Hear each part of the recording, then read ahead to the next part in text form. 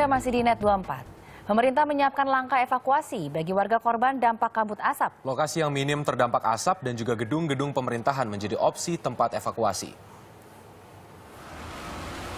Seluruh potensi nasional terus dikerahkan untuk mengatasi kabut asap.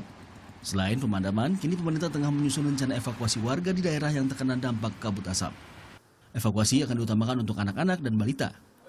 Penyelesaian ini harus terpadu lah dari unsur teknisnya, unsur pemadamannya, unsur sosialnya, unsur pendidikannya harus bekerja bersama-sama.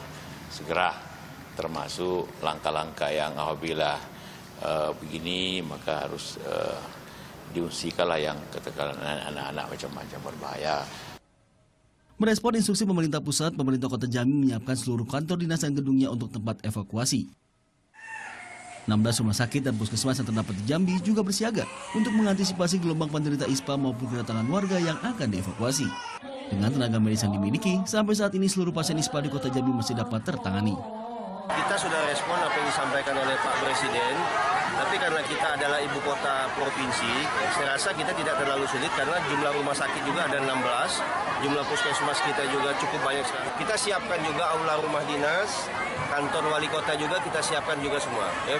Nah, kita juga sudah hubungi pihak-pihak hotel juga dan mereka menyiapkan juga ballroom-ballroomnya juga nanti. Hingga Jumat siang, kabut asap pekat masih menyelimuti kota Jambi.